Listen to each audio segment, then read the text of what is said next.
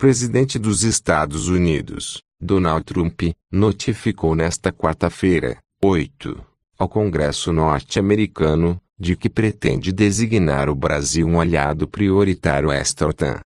Estou tomando essa medida para reconhecer o recente comprometimento do Brasil em aumentar a cooperação militar com os Estados Unidos, em reconhecimento do nosso próprio interesse nacional, e intensificar nossa coordenação militar com o Brasil, disse Trump, em comunicado. Caso a declaração se confirme, o Brasil entra no rol de países como Israel, Austrália e Argentina, o único sul-americano a integrar a lista. Também nesta quarta-feira, o governo norte-americano disse apoiar que o Brasil deu entrada no processo para integrar a Organização para a Cooperação e o Desenvolvimento Econômico.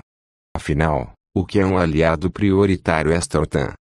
Ser um aliado prioritário extra-OTAN aproxima militarmente o Brasil dos Estados Unidos.